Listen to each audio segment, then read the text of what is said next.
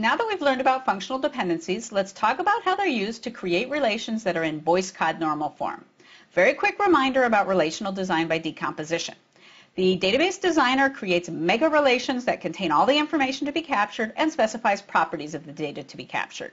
The system uses the properties to decompose the relations into smaller ones, and those final decomposed relations satisfy what's known as a normal form. They don't have anomalies and they don't lose information. Functional dependencies are used to create relations in Boyce-Codd normal form, and multi-value dependencies are used to create relations in fourth normal form. This video talks about the process of using functional dependencies to create relations in Boyce-Codd normal form. Let's start by defining what it means to do a decomposition of a relational schema. Let's suppose we have a relation R with a set of attributes A1 through AN we can decompose R into two relations, we'll call them R1 and R2, such that R1 has, I'll just label them B1 through BK and C1 through C, uh, M, let's say. Let me use the notation for the lists of attributes A, B, and C that I've been using in other videos. So R1 and R2 are a decomposition of R. First of all, if the attributes that I capture, B union C, are equal to the set of attributes we started with A. In other words, we're covering all of the attributes.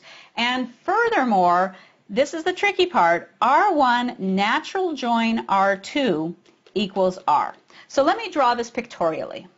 So here's our relation R, and all of R's attributes together are the A attributes. And then we're going to decompose R into R1 and R2. So let's say this first set of attributes here are the B attributes, and the second bunch of attributes here with some overlap are the C attributes.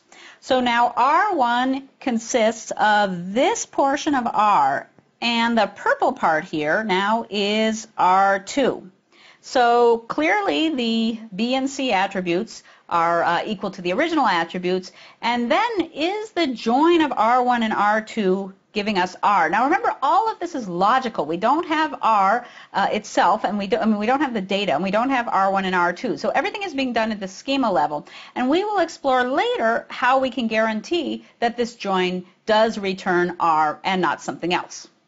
Now, just using a little bit more relational algebra here, let me mention that R1 can be defined as the projection on the B attributes of R, and then in purple, R2 is the projection of the C attributes of R. So again, all of this is logical, but the idea is that when we do the projection, if there are duplicates that are present simply because we have, say, different values in the remaining attributes, those duplicates don't have to be retained in the projection. Um, we saw uh, in uh, some of our examples in other, vi other videos where we had redundancy because we were capturing information multiple times that we didn't need to. And we're going to see that what Boyce-Codd normal form really does is separate the relations so that we capture each, each piece of information exactly once. I know that's very abstract now, but when we see examples, we'll see how that works. So let's look at two possible decompositions of the student relation and see which ones are correct.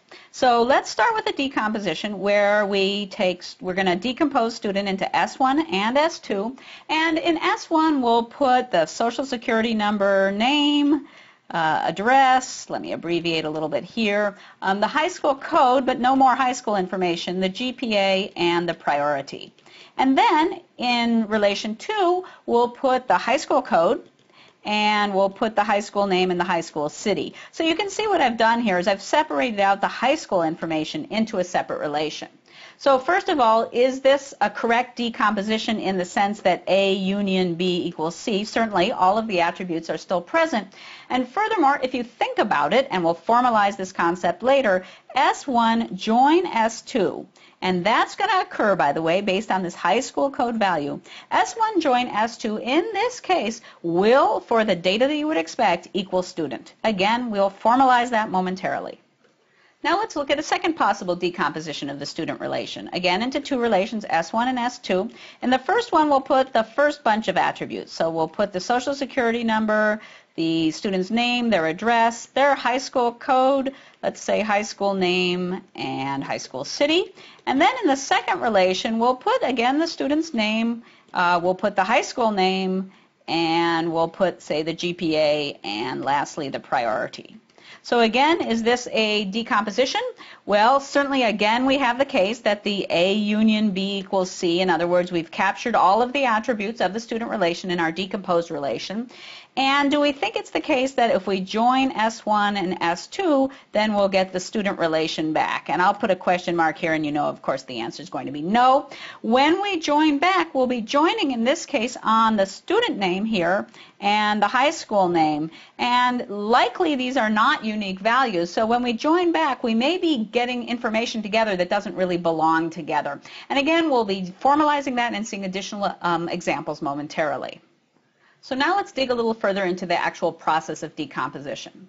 So first of all, we definitely want good decomposition. So as we saw, a good decomposition uh, must capture all of the attributes, of course. But the more important property is that this reassembly by the join produces the original relation. And sometimes that's called, by the way, a lossless join property. But the second thing that we want is not only that we have a good decomposition, but that the relations that we decompose into are good relations. And those relations are going to be the ones that are in Boyce-Codd normal form. So let me first define formally Boyce-Codd normal form, and then we'll go back to figure out an algorithm for automatically decomposing relations using good decompositions into decomposed relations that are in Boyce-Codd normal form. So here's the formal definition of when a relation is in Boyce-Codd normal form, usually abbreviated BCNF. A relation R with functional dependencies is in Boyce-Codd normal form if every functional dependency is such that its left-hand side is a key. Okay? Let's see what happens when it's not the case that the left-hand side of a functional dependency is a key, and we'll see why that's a bad design. So here's our relation R, and here's the set of attributes A on the left side of the functional dependency, attribute B, and the rest. And let's just put in some values. So let's suppose that we have two tuples here with the same A value. Then by our functional dependency, we're going to have the same B value, and the rest can be anything. What has happened here is that we've captured the piece of information, the connection between A and B, twice. And the reason that is allowed to happen is because A is not a key. If A were a key, we would not be allowed to have the situation where we have these two tuples both present in the relation. So this relation is not in Boyce-Codd normal form, and this functional dependency here is what we would call a BCNF violation. That violation is causing us to have redundancy in our relation, and that also gives, gives us, as we've seen, the update anomalies and deletion anomalies. Let me clarify a little bit the requirement that the left-hand side of functional dependencies have to be keys. So that's what tells us we're in Boyce-Codd normal form. Now, I'm not saying that the left-hand side of every functional dependency has to be declared as the primary key for a relation, only that it is, in fact, a key. And as you might recall, the definition of, key, of a key is an attribute that determines all other attributes if you're thinking about uh, functional dependencies, or if you don't have any duplicates in your relation, then a key is a value that is never duplicated across tuples. So if you think about it for a second, you'll realize that whenever a set of attributes is a key, so is any superset of that attributes, those attributes. So if A is a key, then so is AC, and so is ACD, and so on. So sometimes you'll see in the definition of Boyce-Codd normal form this wording not is a key, but will be contains a key, which in fact is exactly the same thing. Or sometimes it will even say is a super key, and a super key is a key or a superset of a key. Again, all of those are saying exactly the same thing, but I just wanted to clarify because different wording and sometimes different notation is used for that concept. So far things have been pretty abstract. Let's try to get a bit more concrete here. Let's look at two examples and determine if those examples are in BCNF. So remember, to determine if something is in BCNF, we need the relational schema and a set of functional dependencies. So here we have our student relation, and this is a set of functional dependencies we had in earlier examples, where the social security number is determining the name, address, and GPA. That means if there's two tuples with the same social security number, they will have the same name, address, and GPA, so that's the same student, uh, and they only live in one place. Uh, the GPA uh, determines the priority, so any two students with the same GPA will have the same priority. And finally, the high school code determines the high school name and city, so the high school code is a unique identifier for a particular high school in a city. So those are our three functional dependencies. In order to test whether this relation is in Boyce-Codd normal form with respect to the functional dependencies, we need to know what the key of the relation is, or the set of keys of the relation. And we worked on this in an earlier video using the closure idea. So I'll just remind you now that for this relation and this set of functional dependencies, there's one key or one minimal key, and that's the social security number together with the high school code. Those two attributes do functionally determine all other attributes in the relation, and therefore they are together forming a key. So now to check if we're in Boyce Codd normal form, we have to, have to ask the question, does every functional dependency have a key on its left-hand side? And the answer, of course, is no. Um, not at all. In fact, the reality is that no functional dependency in this case has a key on the left-hand side. We have three left-hand sides, and none of them have or contain our one key. If you've given any thought at all to this database design, you will see that it's not a good one. It's combining too much information in one place, which is our basic idea, that we start with a mega relation and break it down. And so what we're going to do is use these functional dependencies and specifically the fact that those are BCNF or Boyce Codd normal form violations to break this relation down into one that's a better design. Now let's look at a second example, our apply relation, to see if this one is in Boyce Codd normal form. So in this case, as a reminder, we have a social security number, college, state, date, and major. So the date is the date of application, the major is the major the student is applying for at that particular college. And we'll have one functional dependency, which effectively says in English that each student may apply to each college only once and for one major. Now let's compute the key for this relation, or keys for this relation based on the functional dependency. Well, it's pretty straightforward that these three attributes form a key because they determine the other attributes in the relation, and therefore they determine all the attributes of the relation. Furthermore, we can see that our one and only functional dependency obviously has a key on its left-hand side, and so this relation is in fact already in Boyce-Codd normal form, and we'll see there's no way to decompose this relation further into a better design. So here we are again talking about our de decomposition process. So now we know what good relations are. They are in BCNF. And we saw earlier what good decompositions are. So now we're going to give an algorithm that's going to perform good decompositions, and those decompositions are going to yield decomposed relations that are in Boyce-Codd normal form. So here's the algorithm. The input is a relation R and the set of functional dependencies for that relation, and the output is going to be our good decomposition into good relations. So let's just go through it step by step. The first thing we're going to do is compute keys for R, and we're going to do that using functional dependencies as we've seen, and we saw the actual algorithm for doing that in a previous video. And then we're going to start doing the decomposition process. And we're going to repeat the decomposition until all of the relations are in BCNF. So we're going to take R and we're going to break it up into smaller relations, and we might further break those into smaller relations and so on until every relation is good.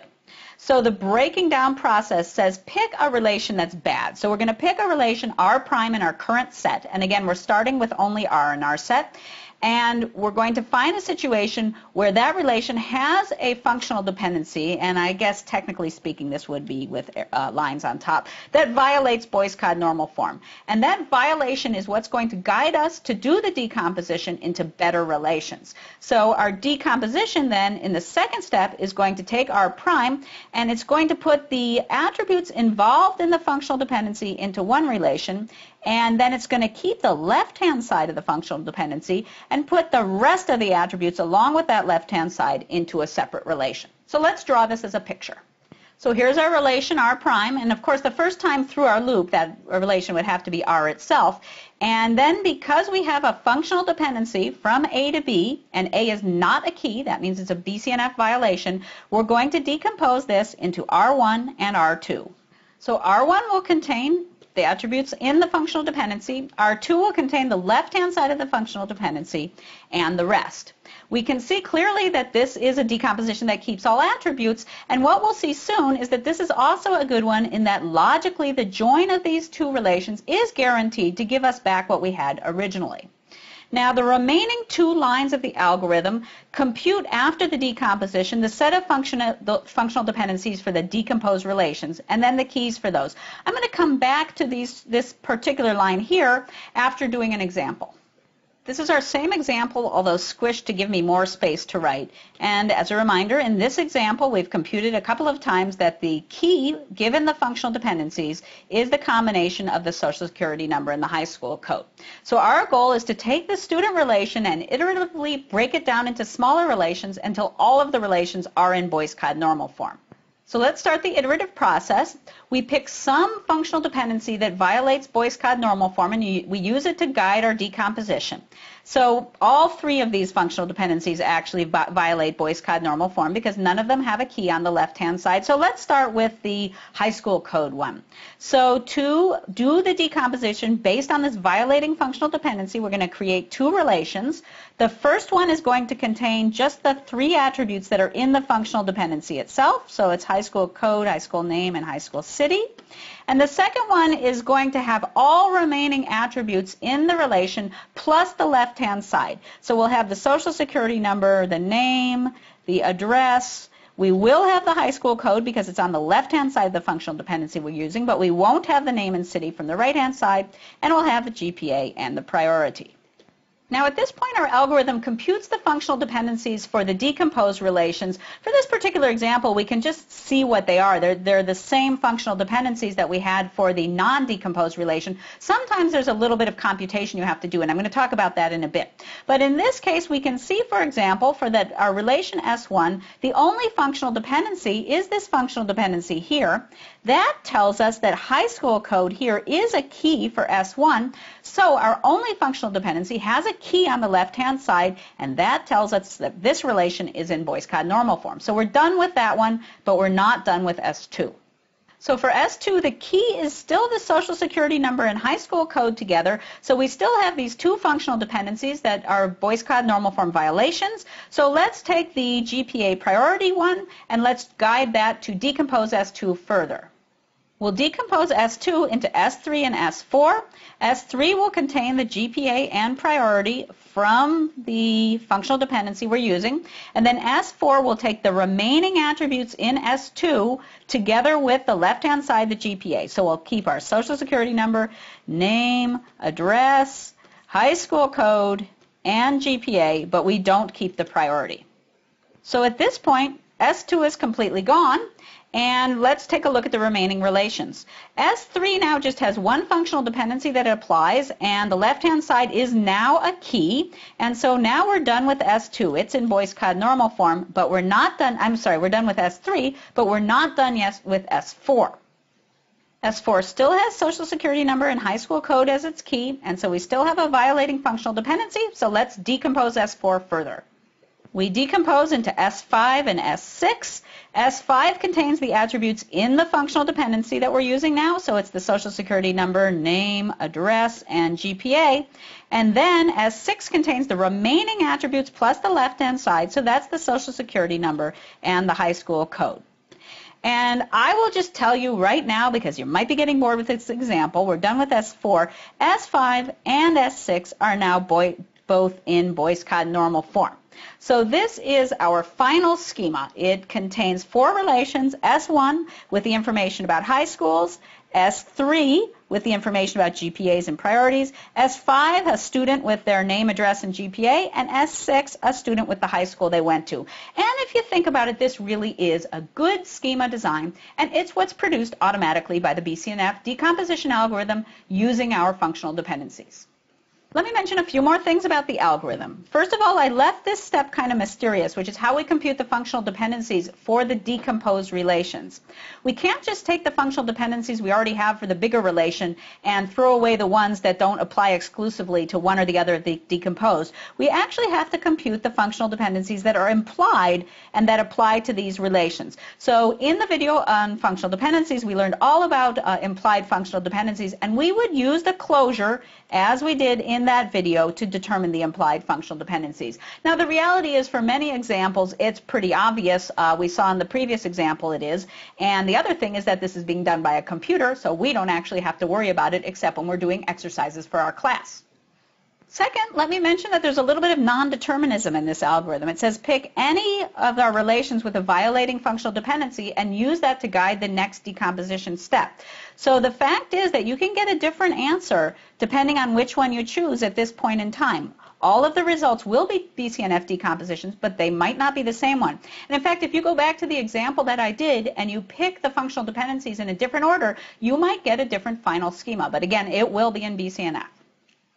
And lastly, some presentations of the BCNF decomposition algorithm actually have another step here, which is to extend the functional dependency that's used for the decomposition. So we're using A to B, but if we have A to B, we also have A to B, and we can add more attributes, those in the closure of A, uh, if you remember the closure, and that's also a correct functional dependency. By doing this extension, we will still get a correct BCNF answer, but we'll tend to get relations that are larger than the ones we get if we don't do the extension first. In some cases, larger relations are better because you don't need to join them back when you're doing queries, but that can depend on the query load on the database. So to conclude, does BCNF guarantee a good decomposition? Well, of course the answer is yes, or I wouldn't have spent all this time teaching you about it. Does it remove the anomalies that we looked at in our first example in another video of bad relational design? Yes, it does remove anomalies. When we have multiple instances of the same piece of information being captured, that's what's squeezed out by the decomposition into BCNF. And that's fairly easy to see through the examples that we've done already. It's a little less obvious seeing why BCNF composition does allow us to have a breakdown of a relation that logically reconstructs the original relation. So let's look at that a little bit more. So we're taking a relation R, we're producing R1 and R2, and we want to guarantee that when we join R1 and R2, we get R back. We don't get too few tuples and we don't get too many tuples. So too few is pretty easy to see. If we break R into R1 and R2 and they're projections of R, then when we join them back, certainly all the data is still present. It's the too many tuples that's a little bit more complicated to see. And let's just use a simple abstract example. So here's a relation R with three attributes, and let's have two tuples, 1, 2, 3, and 4, 2, 5. And let's suppose that we decompose R into R1 and R2. R1 is going to contain AB, and R2 is going to contain BC. So let's fill in the data. In R1 we have 1, 2, 4, 2, and in R2 we have 2, 3, 2, 5. Now let's see what happens when we join R1 and R2 back together. When we do that, you might see what's going to happen. We're actually going to get four tuples. We're going to get 1, 2, 3, 1, 2, 5, 4, 2, 3, and 4, 2, 5. And that is not the same as our original relation. So what happened? Well, what happened is we didn't decompose based on a functional dependency. The only way we would decompose with B as the shared attribute were if we had a functional dependency from B to A or B to C. And we don't. In both cases, there's a there's two values of B that are the same, where here the A values are not the same, and here the C values are not the same. So neither of these functional dependencies hold, and BCNF would not perform this decomposition. So in fact, BCNF only performs decompositions when we will get the property that they're joined back. Again, that's called a lossless join. So BCNF seems great. We just list all our attributes, a few functional dependencies, and the system churns on it, and out comes a wonderful schema. And in general, that actually is what happens. In our student example, that worked very well. There are, however, some shortcomings of BCNF, and we will discuss those in a later video.